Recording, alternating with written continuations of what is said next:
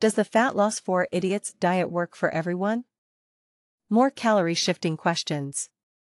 In this article, we are going to tackle a very popular questions on calorie shifting forums and questionnaires. Does the Fat Loss for for Idiots diet work for everyone, or just some people?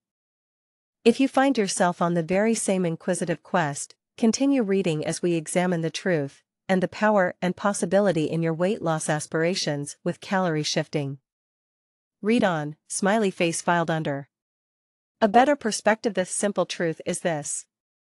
NO1 diet works 100% of the time, for 100% of the people. Anyone who tells you differently is simply lying, ignorant to the facts, or trying to sell you something.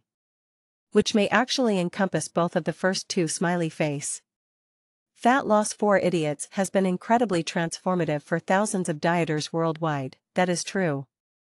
We know it's true because these dieters have voiced this unifying thanks on blogs, forums, and article directories around the globe.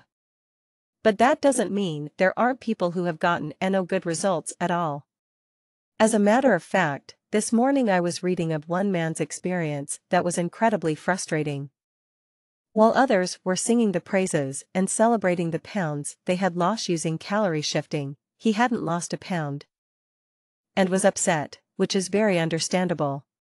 The easiest way to move past it, in my opinion, is to simply get a refund. The program is guaranteed for 60 days, and move on to something else, not fixate on what went wrong for you. Look, at the end of the day, all of our bodies are a little bit different.